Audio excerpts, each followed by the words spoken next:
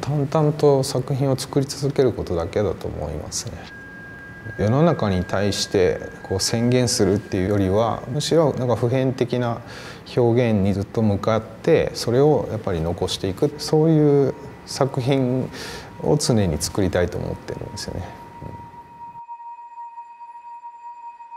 複雑に構成していて複数のシリーズが同居するような空間が連続していくから異なった彫刻とか平面作品が重なり合って次々見えてくるっていう体験を作ろうとしてそれがつながってこういろんなストーリーとかそのコンセプトの広がりが組み合わさって見えてくると面白いかなと。物質感とか空間の中でこう体感で得られるっていう経験が一番表現としては強いんじゃないかと。彫刻っていうのを続けてるのはそこが一番の理由で、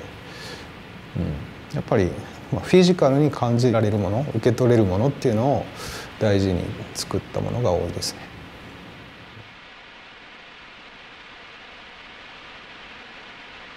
相手は絵の具とか物質なんですけど物性がどうやってこう開かれてでその人の感覚に届くのかっていうことを考えた時にどういう形で最後、